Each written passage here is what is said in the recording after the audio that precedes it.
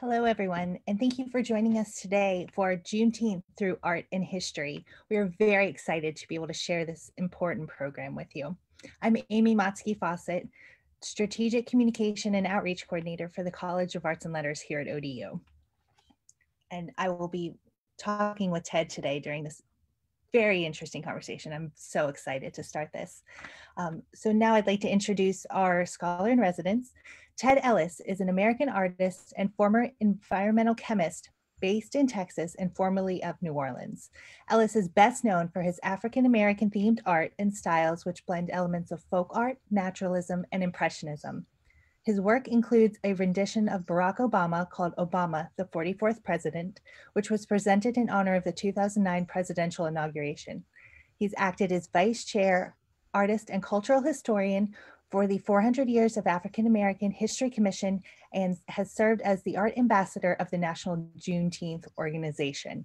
This year, he is serving as the scholar in residence for the College of Arts and Letters at Old Dominion University, although due to the COVID-19 pandemic, the in-residence part has unfortunately had to be mostly virtual. However, we are so happy that Ted will be joining us today.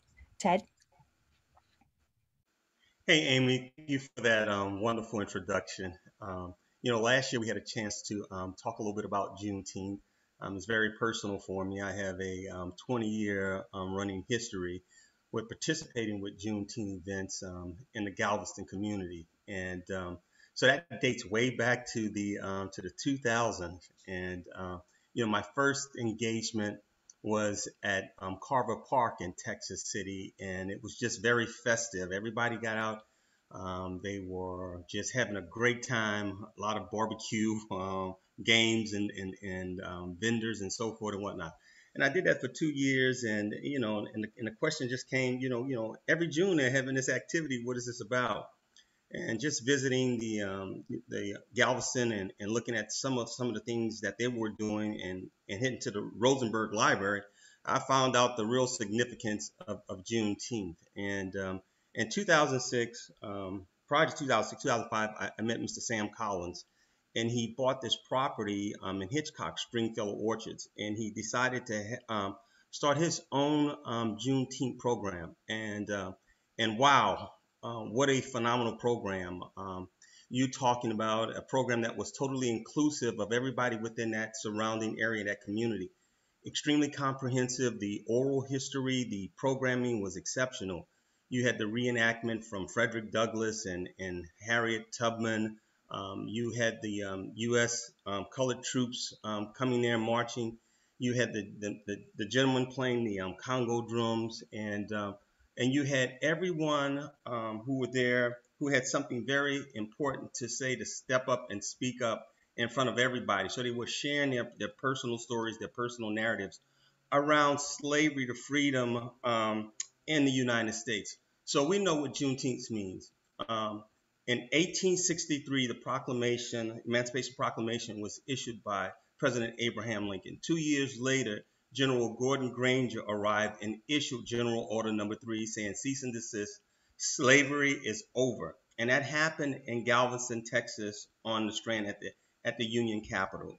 You had over 20,000 colored troops also on the island at the same time. A, a lot of those truths are, are, are coming forward now because we're having this honest discussion and dialogue about Freedom Day, Juneteenth, 1865. Um, that was the day when those who were enslaved and, and slave owners found out that that slavery was over and ended. 1865 was also the assassination of President Abraham Lincoln and the ratification of the 13th Amendment. So, um, just a long history, um, Galveston history that's a part of that American tapestry and, and history. We talk about equity, we talk about inclusion. Definitely, the road to freedom is so significant, and um, and Galveston plays a unique role in that because it is the epicenter and birthplace of that in 1865. And I only live um, 25 miles north of Galveston, so I thought this would be just a wonderful program to be able to share intimately and close up. There's a, a, a short video, um, if we could get that um, shown right quick on with Galveston and by the marker. And I'll, I'll, I'll show you exactly where the, um, the union was headquartered on the Strand in Galveston, Texas.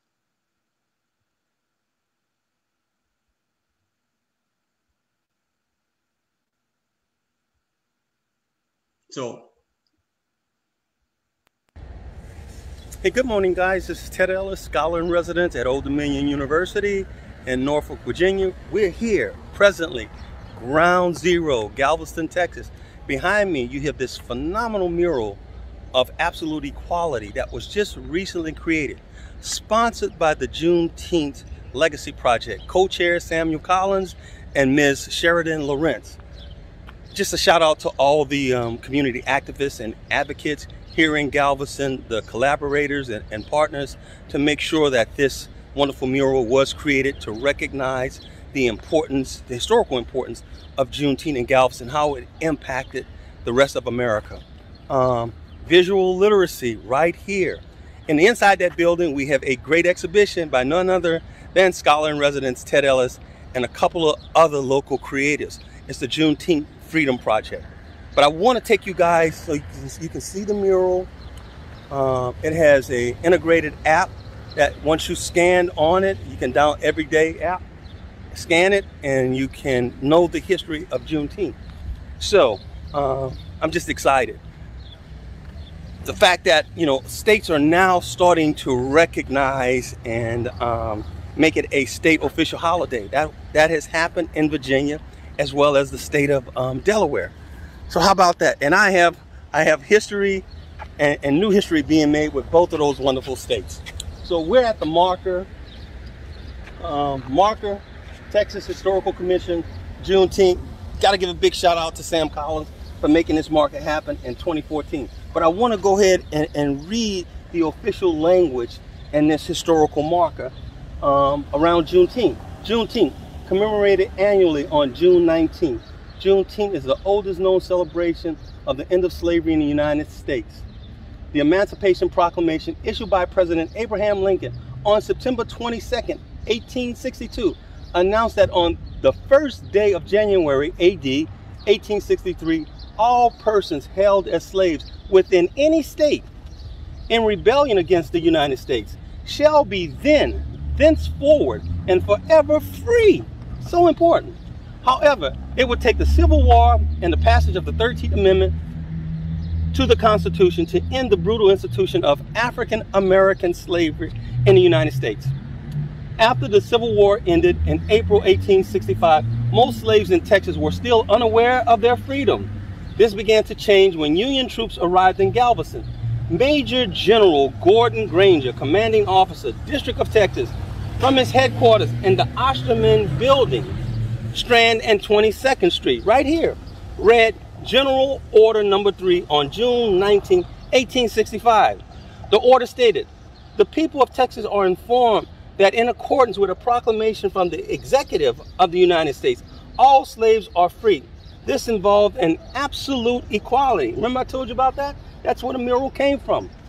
From the General Order Number 3 of personal rights and rights of property between former masters and slaves. With this notice, Reconstruction era Texas began. Freed African Americans observed Emancipation Day as it was the first known as early as 1866 in Galveston. As community gatherings grew across Texas, celebrations included parades, prayers, singing, and reading of the proclamation. In the mid 20th century, community celebrations gave way to more private commemorations. A reemergence of public observance held helped Juneteenth become a state holiday in 1979. 1979, initially observed in Texas, this landmark event's legacy is evident today by the worldwide commemoration that celebrates freedom and the triumph of the human spirit. That is so important. Right here, the Juneteenth Legacy Project is a sustainable project with programs on commemorating the importance of, of Texas history and American history and sharing that globally. So I'm excited. Just recently, this Memorial Day weekend, we had Miss Opal Lee here. She's 94 years of age. She started a walk from Fort Worth, Texas to Washington, D.C. to get Juneteenth recognized as a federal holiday. She was here with her, her three mile walk. We also had the president of the National Juneteenth Observance Foundation, Mr. Steve Williams was here. Exceptional program, exceptional recognition. The mayor of Galveston came out, joined us, as other locals in the community and folks outside of Galveston came to recognize this important event. The exhibition of the Freedom, the, Freedom, um, the Juneteenth Freedom Project will be up for one month here at the Strand Building. I implore you to come out and see this visual literacy that, that speaks so much to Juneteenth and slavery. There's a, there's a close tie between Norfolk, Virginia and Hampton and Galveston, Texas, both port cities. Both has a rich legacy of, of American history, but also tied to slavery and the foundation and the building of America. So as Ted Ellis Scholar in Residence, thank you for giving me this opportunity. I, I look forward to telling and sharing more stories throughout the United States as it relates to American history, African American history, art, and social justice. Thank you very much. Wow. You know, it's, it's, it's hard just watching yourself talk. Um, but you know, one important fact when I, when I, what I mentioned was these port cities, and we talk about Hampton Roads, and we talk about um, the Civil War in 1861. The Contraband Act was established by um, Benjamin Butler. You had um, three enslaved to, to leave from Point Sewell to head over to the Freedom Fort, which was Fort Monroe. And, uh, and subsequently, because of the, um, the Fugitive Slave Act was not applicable to the state of Virginia, that, that they were recognized as contraband. And so, um, being a very astute attorney, um, General Benjamin Butler says, no, this is contraband. Uh, you know, this is our property now. And so James Townsend, Shepard Mallory, and Frank Baker, those enslaved um, individuals found freedom at Fort Monroe, the Freedom Fortress. And subsequently there, you know, afterwards, the Emancipation Proclamation, 1863, and two years later in the port city of Galveston, Texas, General Gordon Granger arrived um, and issued General Order Number Three that was written by Major um, Emery, who was an abolitionist as, as well. So a, a, lot of unique history as it relates to, to Juneteenth and, and American history. And we talk about the road to freedom. We talk about racial justice and racial equity. Um, just so critically important. Um, in 1872, a, a, a, another um, wonderful event happened. You had four individuals that decided to buy land in Houston, Texas, um, that stemmed from learning about their, their, their, freedom years early. And that was Reverend Jack Yates, that was businessman Rick Brock, Richard Allen, and Reverend Elias Dibble. They bought the property that became known as Emancipation Park. And if we could um, get a chance to see that video, um, I get a chance to, um, to show you the, the location and where the historical marker is, is presented, recognizing the importance of it, Emancipation Park. Um, in Galveston, there were multiple celebrations annually. So here we are. Hello, everybody. This is Ted Ellis, and I'm in Houston, Texas. And I'm here at Emancipation Park, established in 1872.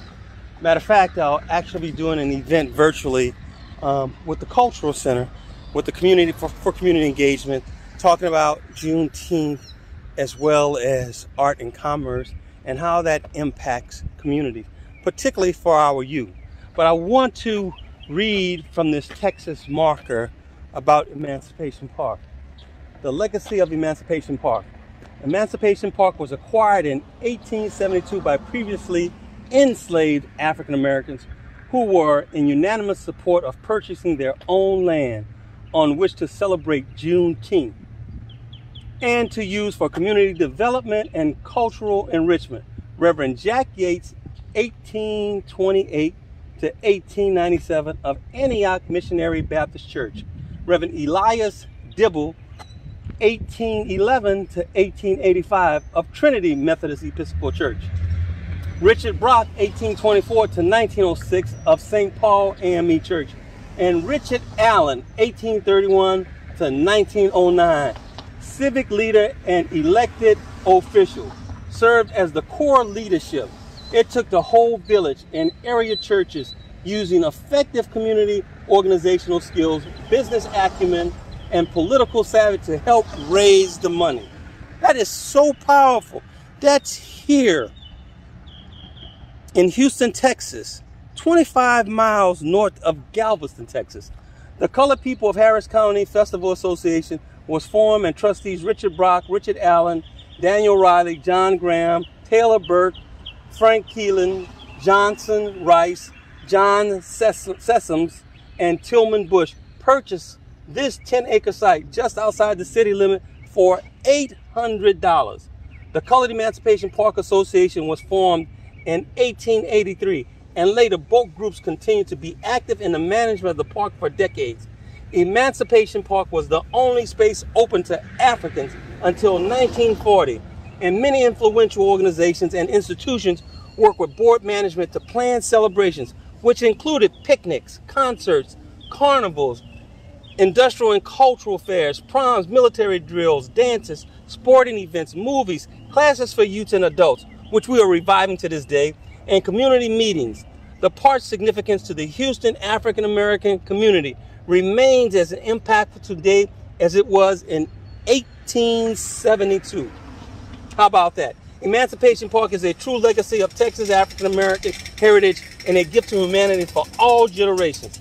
This marker was established in 2017. Marker is the property of the state of Texas. This is Ted Ellis, scholar in residence at Old Dominion University, as well as vice chair for 400 years of African American History Commission, the Federal Commission. So I've been an artist for a little bit over 30 years, pictorially documenting African American history and culture. I hope to share more about the importance of African American history as part of the tapestry of the American story. This is Ted Ellis. Peace out. Bye.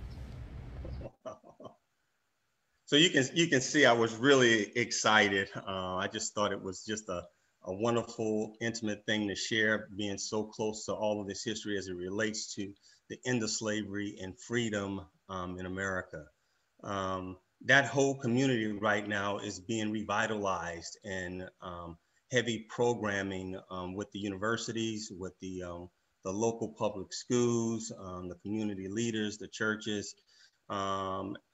It is a evolving community and it is one of the epic centers of, of American history. And it, it's, it's, it's a bridge for community gatherings and, and, and equity programs in that space um, not too far as Missouri City, and um, and you even have in, in Port um, Port Arthur and in Beaumont um, Juneteenth celebration. It's just uh, it's just it's next year will be the 150th anniversary of of the park, and um, I, I suspect that they're going to have a lot of um, you know local and state and national programs centered around that activity and having that conversation um, on social justice and racial equality and how, how history can be an instrument for us to, to, to learn about, you know, past errors and state and, and, and show that, that we can do better and, and, and be better. Um, so, um, you know, I think about my, my time um, as an artist and my relationship with Juneteenth that lasted more than, than 20 um, plus years but but a, a, a wonderful um, opportunity happened for the 150th anniversary of Juneteenth. Um, one of my paintings, Free at Last, was the official um, piece for Juneteenth that was recognized by the um, Galveston Daily News, the, um, the local government of, of Galveston, the Galveston County, the state of Texas, and had a chance to showcase my um, Juneteenth Freedom Art Project that featured the, the Free at Last painting on the Hill on the House and the Senate side in Washington, D.C. in 2015 and had, um, you know, received wonderful proclamations from, from both Senator and Congressman John Cornyn and, and, and, and Randy Weber. It was just a, a historical moment. Um, when, when, you talk about uh, racial healing and equity in America and having folks come together and, and talk about this, this sensitive topic of, of slavery and, and inequality in America and, and the march to freedom. So it's just such a, a, a lot of hope and a lot of opportunity moving forward um, with Juneteenth. Juneteenth is celebrated in 45 states. It's recognized as state, a state holiday in 45 states. Recently, the state of Delaware this year recognized it. Last year, the state of Virginia recognized it as a state holiday. So that is tremendous progress as, as we push forward for um, this, this, this, this, this time of healing, of racial healing in America. And um, so Juneteenth um, is, is important. It's, it's critically important that we understand that it's, it's, it's not just a local event, that it's, it's, it, it pertains to us nationally. Um, I just can't imagine what's going to come out of it um, moving forward. Um, my this year I won't be in Galveston. I'm, I'm heading to um, Wilmington, Delaware. The um, Delaware um, Library Systems commissioned me to, to do a, piece for them, as well as to showcase my Juneteenth, part of my Juneteenth Freedom exhibition. But I've also um, found 13 local young um, Juneteenth ambassadors, student ambassadors, to create a visual narrative to speak on the importance of Juneteenth and what that means to them and we're going to be doing this um, this opportunity exchange with students in in Wilmington, Delaware. So you know that's that gives us an opportunity to to to to change minds, to inform, to educate our youth, and to share in in, in what's important about our cultural heritage and our legacy as a country moving forward and in healing for for equity in this space. So um, want to tell you about the um, the Juneteenth Legacy Project, and we talk about the importance of visual literacy, the importance of history, the importance of, of education and cultural sharing and equity. I think this is a phenomenal project that speaks to how we could use our talents and our resources and our means to build better communities. This, um, this, this mural, Absolute Equality Mural, was created by by I want to say five um, creatives. Um, um, Sam Collins, who is one of the co-chairs, as well as Ms. Um, Sheridan Lorenz, whose, whose part and soul is the Mitchell Foundation. And um, they've taken up the charge and responsibility to understand the importance, not only on environmental issues, but on social issues. And so you have the largest erected mural relates to, to Juneteenth and freedom in the country, possibly the world. I think the world. And, and when you when you when you walk and you visit to Galveston and you see that mural and the impact that it makes with everyone who comes and visit, it's a positive outcome. And so um, I want to go ahead and, and introduce Mr. Sam Collins in this video. Um, Sam will say a few things about himself and he'll walk you through the importance of, of the mural Absolute Equality, as well as the Juneteenth Freedom Exhibition that's inside the Strand building. So, um, and then we'll, we'll have a few questions afterwards. Hey guys, this is Ted Ellis, scholar in residence from Old Dominion University. I have a treat for you here in Galveston, Texas. We have Mr. Sam Collins, historian here. He'll give you some background information about himself, about the project that's going on for Juneteenth and his time and commitment over the years. Sam, it's your floor. Yes, my name is Samuel Collins III. I'm a certified tourism ambassador here in Galveston, Texas. Also on the board with the National Trust for Historic Preservation Board of Advisors. I've done some work with the Texas Historical Commission, in Galveston County uh, Historical Commission, and even a lifetime member of the Hitchcock Heritage Society. So from small towns with a few thousand to a national board, I'm very active in the preservation and history community. We're here at the Juneteenth Legacy Project headquarters in the Neal Cultural Center office. Uh, we have an exhibit up uh, sharing more of the African American history and experience here in America. Uh, the project was brought together uh, with myself and Sheridan Lorenz, who is the co-chair of the Juneteenth Legacy Project. When we decided to uh, place a mural on the outside of the building uh, where the Osterman building once stood on the corner. When the Osterman building was torn down after Hurricane Carla, it exposed the east wall of the old Galveston Square. Uh, we were able to place a Juneteenth marker at that corner in 2014. On June 19, 2014, and went in the ground. We had our program on June 21st. So after uh, passing this intersection many times, I saw that this blank wall created an opportunity for a storytelling space to expand the narrative of Juneteenth. The National Trust has a national campaign to tell the full story and to teach the full history. So when we think about major port cities like uh, Norfolk, uh, Hampton Roads, and Galveston, these are uh, port cities where many individuals from around the world were able to arrive at, at various times. Of course, we know being part of the transatlantic slave trade, and Galveston actually being an illegal slave port because uh, slavery had been outlawed in 1808, but they continued to bring Africans in through the Gulf uh, up until really the end of the Civil War. So Galveston has a deep connection to this history of uh, uh importation of the enslaved people.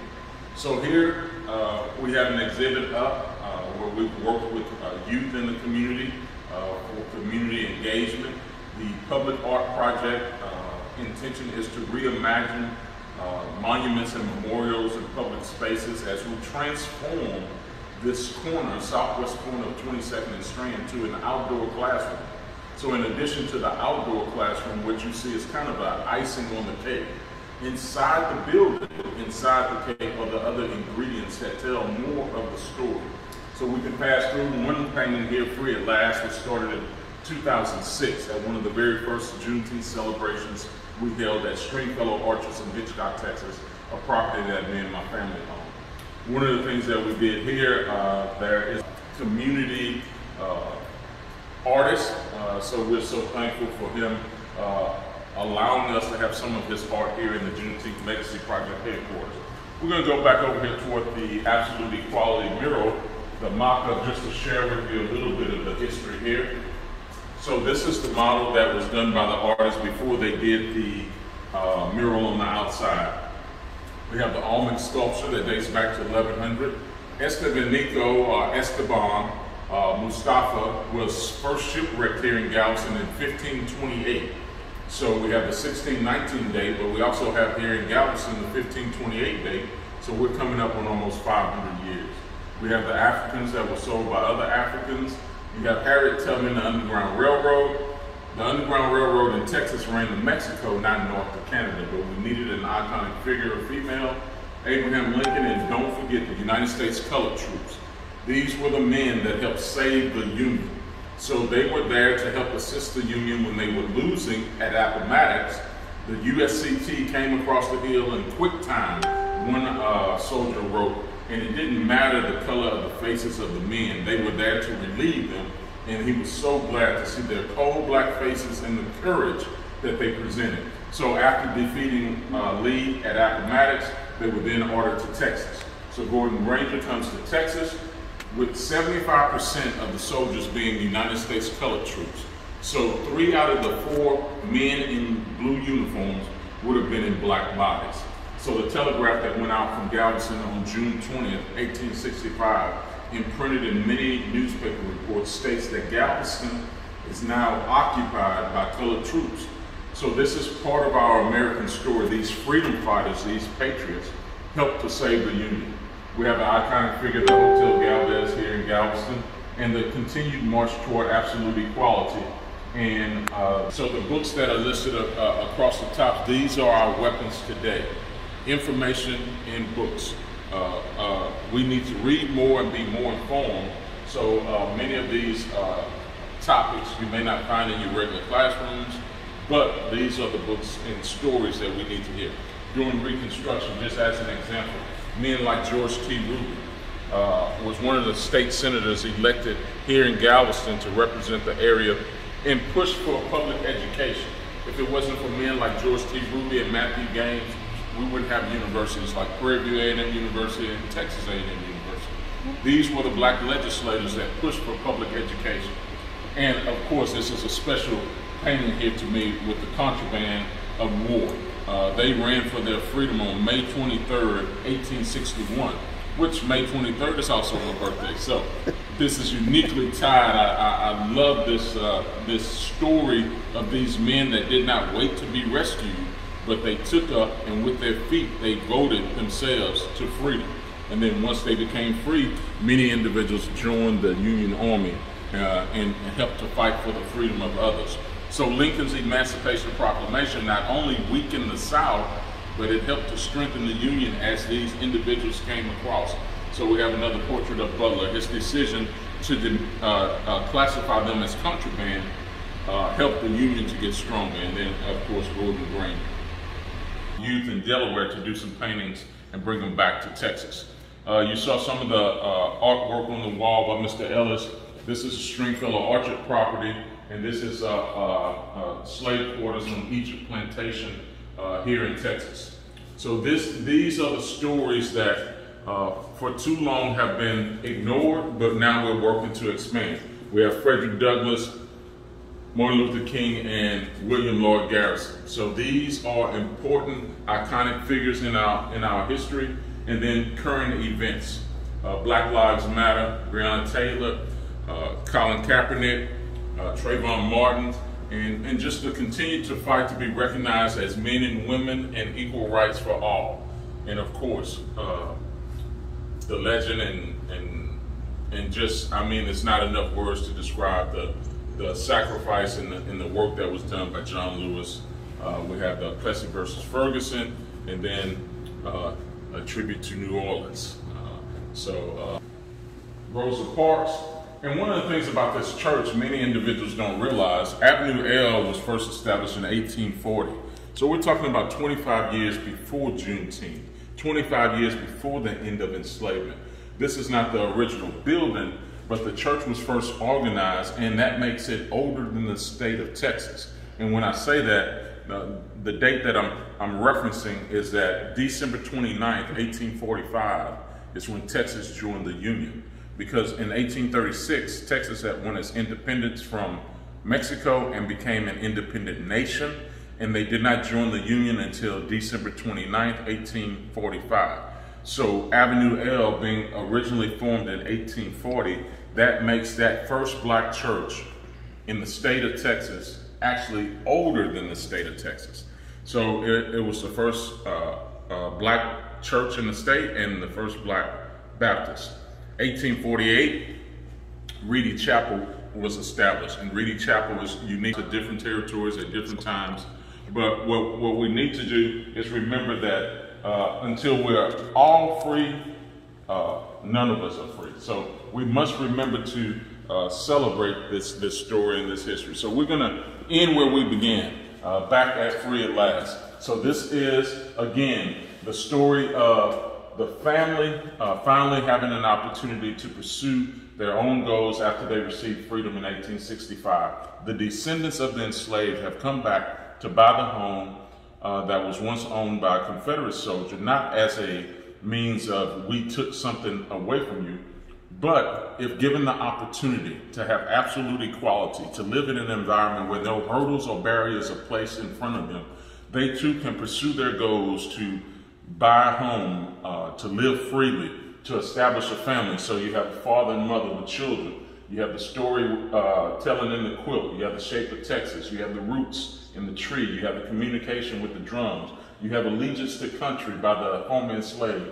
The USCT on the top of the house protecting the cross on the hill for faith, Frederick Douglass, uh, Harriet Tubman.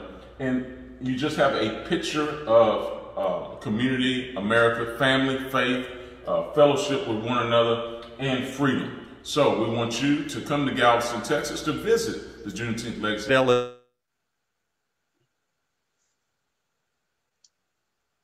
So there you have it. That was Mr. Sam Collins, National Historical Trust member, um, part of the um, Texas Historical um, Commission as, as well, talking about the importance of the project, the Juneteenth Legacy Project, the importance of Juneteenth, how it impacts communities. Um, Sam has, has been a been a friend and a colleague for for close to 20 plus years, and uh, we partnered on bringing programs um, to schools and to communities, partnerships with churches and organizations about, you know, uh, freedom and equity and what Juneteenth means to, um, to America, particularly African Americans. Um, um, that's that quote by Frederick Douglass, what to the American slave is the 4th of July. And when we talk about, you know, equity and freedom in this space and not pay attention to those who were enslaved. So that date in um, um, June 19, 1865 is so critically important that we are mindful and reminded that, that, that we are to, we're charged with the responsibility for racial justice and equality in, in America. That's an ongoing um, challenge for us. And we have to look at it through policy and through law and how it affects communities. But I am, I, am I'm, I'm, so faithful and, and excited about the potential for, for, for, for better race relationships moving forward as Galveston um, being an example, a present day example of it, because um, last year we talked about, you know, things that, that, that challenge that space of racial equality when we talk about class and social stratification. And I saw all of those elements coming together on this major project, this um, Juneteenth Legacy Project. Uh, means, um, academic means, um, um community um, means, um, financial means, making a platform to, to, to speak, to heal, you know, communities that have been wounded by erecting this, this mural of equality and racial justice, taking ownership in a position to say that we can do better. And um, it's, it's, it's, it's a marvel. Um, I um, ran down, drove down and run to Emancipation Park after I um, spent some time in Galveston. And Miss Lucy Bremont, who's the executive director, she's excited about the programming that's, that's coming through, um, through Emancipation Park and how that's going to impact communities as they as they gather in this space you know having conversation, community conversation, having academic conversations at institutions inside of that community. You definitely have Texas Southern University and, and, and Rice University. Prairie View is down the road, but uh, on 290, but all St. Thomas University, all having this space um, and discussion about racial equality, importance of Juneteenth, that's part of the American story. So when we bridge and we look beyond the borders and confines of Texas, I look at the Commonwealth of Virginia and and and how that plays a specific role um, in in the road toward freedom and equality in, in America, and, and and being part of a, a wonderful institution, Old Dominion University, that's that's dedicated to diversity, inclusion, and equity, and having this platform. Um, it's just amazing when, when we come together and, and with a sense of urgency and purpose and leveraging our, our passion and being committed for doing the right thing, what, what can happen.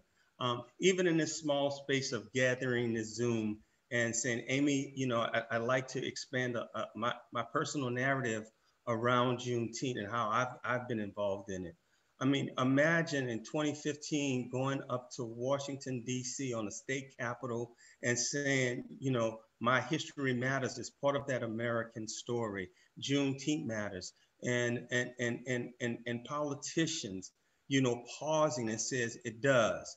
And, and, and when Senator um, John Cornyn gave us that opportunity and Congressman Randy Weber gave us that opportunity on both the House and the Senate side to say that African American history is important. And every year in Galveston, for the ceremony of the commemoration and recognition of Juneteenth, those politicians are, are, are, right there. And, and, and, and, and this will be another learn moment for us to push forward so that we can be better citizens. Um, we could be um, better patriots, uh, that we could stand um, democratically together and, and recognize that, that we don't have to be divisive in this space, um, that we could learn from each other and we can and we can live cooperatively in, in this space. So there's a sense of urgency for us to continue to push forward um, in other areas of the country. It definitely happened. It definitely happened in Hampton Roads. When um, when those three enslaved Africans arrived from Point Sewell to Freedom Fortress, and and and and the contraband camps were were were established. In less than what I want to say a month or two months, you had over six thousand um, enslaved um, um, individuals found freedom at, at, at Freedom Fortress in, in Fort Monroe. Um, amazing that to push forward, and I don't know how many miles that is between Hampton Roads and Galveston, Texas, that General Gordon Granger, members of the um, 29th and 35th Infantry Colored Troops made their way through Charleston, through, through, the, through the state of Louisiana, onward to, um, to Texas to say cease and desist. Slavery is over. There's equity for everybody. Freedom is here now. And uh, we hold to the ideals of the Declaration of Independence, to the ideals of the Emancipation and Proclamation, to, to the laws that establish and govern the land in which we live is so critically important. So um, um, there's one thing that I want to leave you with, and I just thought this was just bridging communities, um, you know, um, showing that, that, that communities can, can impact. There's a, a proclamation issued by the uh, city of Galveston that, that, that, that speaks to the, the commitment of Old Dominion University and the state of Virginia as it relates to Juneteenth and freedom in America. So two pieces I'll, I'll just read, and it's um, whereas that the Governor Ralph Northam of the Commonwealth of Virginia recognized and passed into law Juneteenth as the official state holiday. And whereas Old Dominion University recognizes the historical importance of Juneteenth, creating academic programming to increase the awareness of Juneteenth for its students, faculty, and community by incorporating the art of Ted Ellis Me that is so vividly provides a visual narrative of the events of slavery and freedom in America. Um, and a little bit more, therefore, I do hereby extend this certificate of recognition to Old Dominion University in Hampton Roads, Virginia, as well as the state of Virginia for encouraging all citizens to join in the continued celebration and commemoration of Juneteenth, June 19, 2021. Over 45 states now have a state holiday. Listen, we, we, we got to be encouraged. With, with all the challenges that we have in this space, you know, we're pushing it forward. We, understand that everyone matters, that equality matters, that freedom matters. And um, so as we champion for to improve um, the efforts of our social justice campaigns, I want to um, thank everyone for, for, for giving me this opportunity to, to, to, to, to provide an opportunity for enlightenment. Now, we're gonna have um, a, a, time and a moment for questions and answers. And so, um, so I'm here to, to be able to hopefully address and, and, and give um, information that will be helpful. Well, Ted, thank you so much for doing that and recording those videos. And please thank Mr. Collins for making that video, especially for us, because, you know, I just find it so amazing that we're getting this history here in Virginia directly from Galveston. You know, that we're hearing from you and we have this opportunity um, it, has been so interesting and i did want to just really quickly go back to the poll that i think many of you participated in in the beginning and if you didn't um, get the chance to do that that's okay but um, or if you came in a little bit late because i saw a few people joined after the poll um, we just asked a question about when did you first learn about the juneteenth holiday and how did you learn about it um, and Ted, you know, maybe you're not surprised, but I was surprised to see that the majority of answers said people had learned about Juneteenth more than 20 years ago, which, you know, to be totally honest, and as Mr. Collins said during his talk, it's not something that you really learn widely about in education. I, I don't think I was ever taught it during my school years. I know, Ted, we talked about you weren't taught it. And so, right. you know, maybe maybe we just happened to go to schools that didn't talk about it and everybody else did and we just missed out on that conversation i don't know um, but i just thought that was really interesting and then i was hoping if people wanted to um, that they could maybe just send in a little bit of information if they wanted to use the Q&A function just to tell some stories of Juneteenth, because I know, Ted, you told your story of kind of how you came across Juneteenth, how you learned about it. Um, and also just to talk about that second question of how did you learn about it? Um, i was really enthused honestly as a former reporter to see a lot of people say they learned about it from local news because that's how i learned about it when i was a reporter. Um, i actually was sent out to cover a story about juneteenth at a living history museum and it probably had to be you know 15 years ago now i guess. Um, and they were trying to incorporate more of the voices of enslaved people who had worked on this site into their history. And so they held a juneteenth event for the first time that year. And of course being a reporter i had so many questions. I was like, what is Juneteenth? Why are you celebrating? What what is this for? Why is it called this? Who started it? You know, just of course doing the reporter thing and, and probably annoying them, but they were very sweet.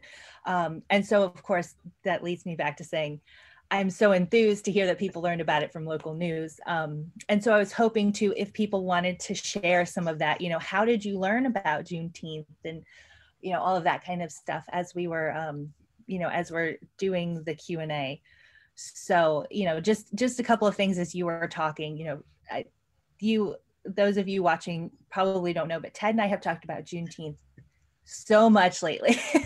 We have had so many conversations at, over the past year and a half because as he mentioned earlier he celebrated juneteenth with us last year which was the first time it was a statewide celebration here in virginia. And um, we did a virtual tour of his amazing exhibit that was here at odu um, yes. at the time with some of I think some of the artwork you had in that exhibition was also here at ODU yes, or yeah well um, definitely okay. the contraband I thought I recognized yeah, some of it yeah yeah okay and I'm sure now, if you came to see it um, those of you who were there for it would have recognized some of those paintings as well um, so but I don't want to take up too much of our time because I know that you know we don't want to get behind, and it looks like we do have questions coming oh, I saw, in. So I saw just, a lot of great questions in the um, Q and A. Yeah. Um, some of them I can't and answer. So I don't want to get, yeah, I don't want to take up anyone's time. I just, um, you know, wanted to throw that out there. If anyone wanted to share their Juneteenth experiences um, or how they, you know, any of that information, I was just, you know, considering our conversations that neither of us learned about it as very young people or in school, you know, I just, I was so fascinated by those answers and kind of like, who are these people who learned about it 20 years ago? How did they do that? Um, but again, not trying to take up too much of the Q&A time, um, I wanted to go ahead and introduce Mariah Johnson, who is a graduate student here at Old Dominion University. She's in Lifespan and Digital Communication. If you joined us for last month's talk with Ted, uh, she was our moderator. That was wonderful. Um, we had such a great time last month talking about artivism. And if you missed that, you can go ahead and find it on the College of Arts and Letters YouTube channel, which is also where we will post this event later. Um, this, I believe, is also streaming to our Facebook. So if you missed a part of it, or if you want to share it with somebody, um, they it will be available. So Mariah, I'm going to let you go ahead and take it away. Um, thank you both so much. Thanks, Amy. Hello. So the first question is from Carl Jackson. When and where was the first Juneteenth in Virginia, if you know? So, so I don't, you know, and I was in the Q and A. Um, even I, I saw the gentleman asked about, you know, the statewide activities in, in Louisiana. You know, I, I mentioned I learned about Juneteenth when I actually got to Texas. Um, um, but but if if I if I could recall, we used to Joe Brown Park in New Orleans East every June they would have a festive activity, but nothing was mentioned about Juneteenth and, and, and slavery you know, that was very specific that you understood why you were there. Um, you know, not until I, I, you know, when I, when I, when I participated in Texas City at Carver Park, and I just, you know, it was, it was primarily African Americans in this space. It was Jubilee, it was discussions. And I mean, you know, we, we had a great picnic and a great time. And if you read some of the, um, the old historical um, literature, provenance and stuff, it talks about parades and picnics and everything else but not until we did that real comprehensive programming at Stringfellow Orchards with Sam Collins that that I I really started, you know, digging my teeth in it, learning more about Juneteenth, about the Freedom Tree in Missouri City, how they celebrated Juneteenth, Emancipation Park. I said, whoa, this is this is real heavy because you know, freedom for me, for the most part, happened, you know, 1776, you know, 4th of July. And so, and I thought about it, and it makes you pause when you think about, you know, those who were enslaved and those who were liberated. Well, we didn't have total freedom. And that has been the push for that conversation with Juneteenth, part of American history, and, and that's where we are. And so um, Dr. Ron Myers, he's, he's deceased now, but there's a lot of information um, on, on, on, on, on the website, the, the National Observance um, Juneteenth Foundation, um, that talks about their advocacy and activism on getting Juneteenth recognized as a federal holiday, but also about the participatory programs they have in the, in the multiple um, states throughout the, out the country. So sorry, really quickly, I wanted to jump in because of course, um, when I saw that question, I decided to try to look it up.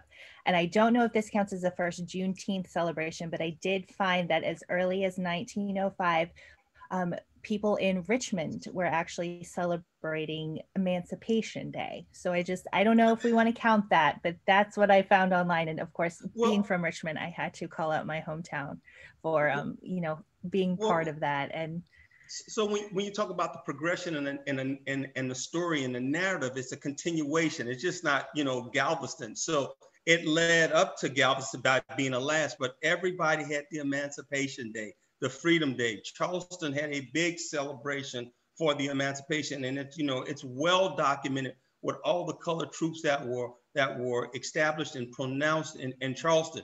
And you think about that as as they migrated and moved forward with those with the with the general orders that it touched all the other southern cities, but it was it was a a um, it was um, sort of governed by their, their, their time and journey. So, you know, it was chronologically, you, we didn't have, they didn't have mass communication the way they had it now.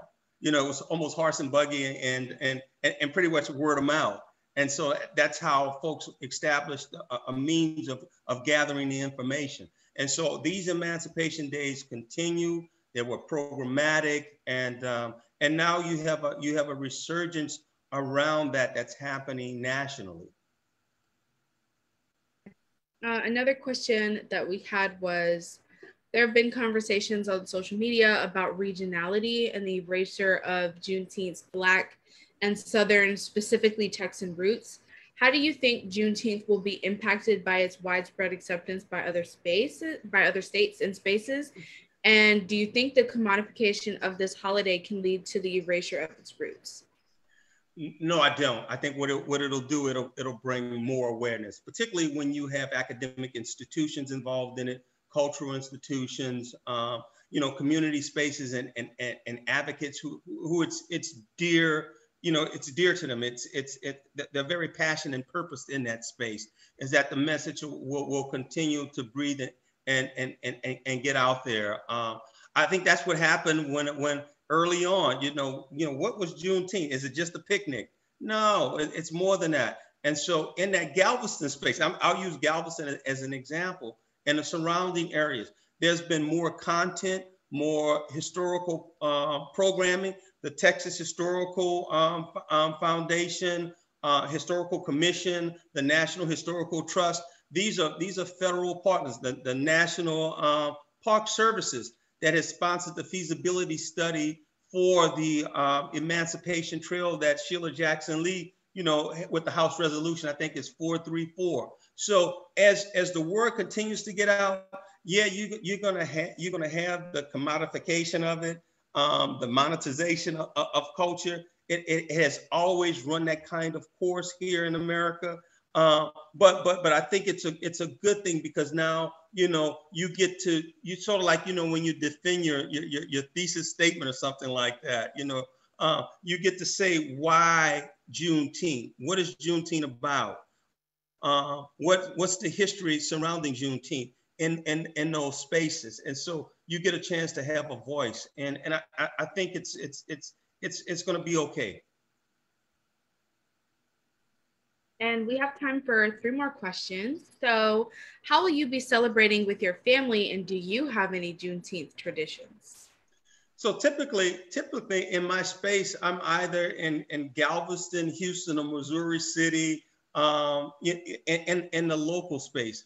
This year, I get an opportunity. I was invited very early um, by the, um, the, the Wilmington, Delaware Library um, um, system to come and present part of my Juneteenth exhibition, as well as I was commissioned to do a piece for the library. So that's the city of Delaware um, and the library. So I get to impact a different community as a as a as a as an art ambassador centered around the importance of, of, of Juneteenth. And typically that has been my space for uh, for, for, for Juneteenth. You know, it's I, I've personally been involved for for close to 20 years on the programmatic side of it. I would say the last 10 years, you know, and campaigning for the for the urgency of, of racial equity and equality in America and why Juneteenth is critically important.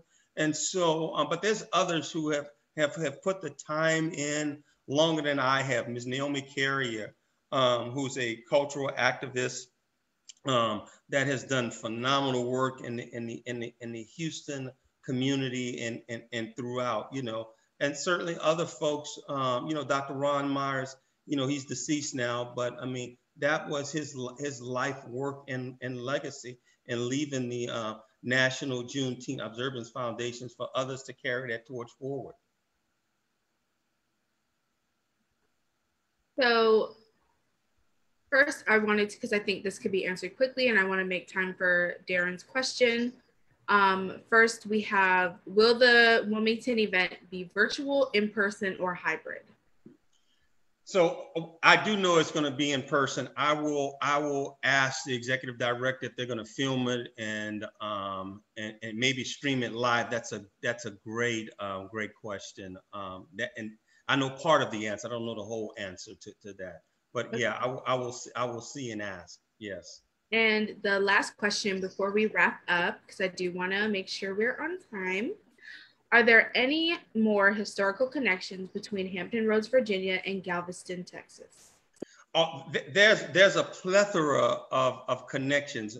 Um, when you talk about um, um, the, the Rosenberg libraries, I mean, you go through their archives. You, there are a lot of folks from Hampton Roads that that that moved to um, Galveston, Texas, and and vice versa. You know, that's a that's another wonderful um, story for another time on doing the research and the presentation of that. But um, you know, those those people of color have have, have roots in Virginia. Um, um, those who were enslaved, uh, and, and, and, those who, who who were who were the abolitionists fighting, and those who were not, have close ties between these those, those two port cities. When you talk about Hampton Roads and um, and Galveston, Texas. Um, it's just, um, you know, it's just a part of it, but it's, it's, it's more local researchers, um, cultural archivists, um, and, um, and educators get involved in that and, and, and museums, you will find more treasured stories surfacing and, and, and, and being found. And that's pretty much sort of what I do too as well as an artist, yeah.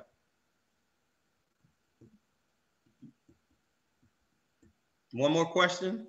Well, thank you, Mariah, for hosting oh. our Q&A. And yeah. are we doing one more or is this the last one? I'm sorry. You're out of time. Oh, wow. So look, trivia, there's over oh. 200, there's 200 historical oh, markers God. in Galveston, Texas. So. Yeah.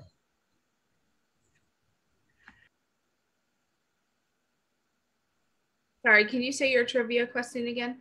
So there's over 200 historical markers in Galveston, Texas. I thought that was that was remarkable. You know, uh, typically that's that's sort of one of my things. Whenever I travel, I try to get to historical marker.